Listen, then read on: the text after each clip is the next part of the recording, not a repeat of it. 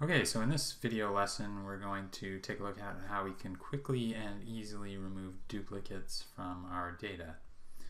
So here's a set of sales data, and I've gone ahead and highlighted all the duplicated rows. So there's Shirley, and there's Shirley again, and there's James, and there he is again, and the data is the exact same, and there's a couple of them in this data.